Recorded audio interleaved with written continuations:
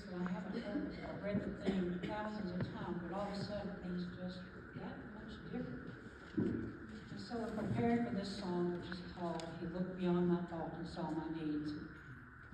The topic is God's amazing grace.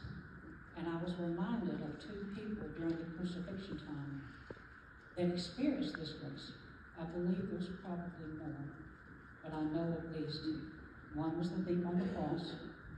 The man had lived all his life. He was hours away from death, if not minutes. And he had watched Jesus on the cross beside him. And Jesus' nature, just of being there and how he took that crucifixion, knowing he didn't deserve it, Jesus witnessed to this man. And in the Bible says that the thief turned to him and said, Jesus, remember me when you go in paradise today. And Jesus turned and said, Today thou wilt be with me in paradise.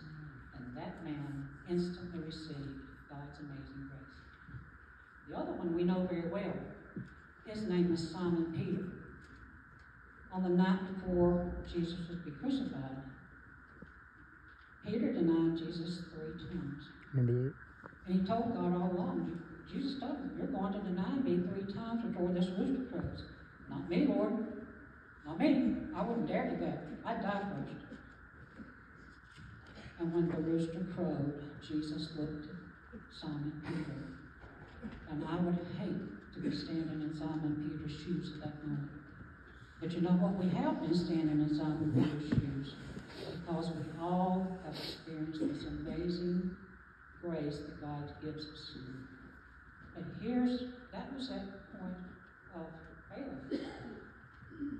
Jesus dies, he's buried, and then the morning of the resurrection, the tomb has been opened. The angels are appearing to people. And one of the instructions is go and tell the disciples to meet me, I believe it was in Galilee.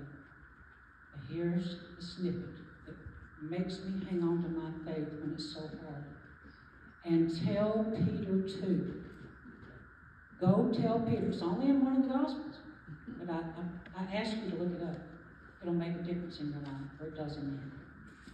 So my song today is He looked beyond my fault and saw my needs.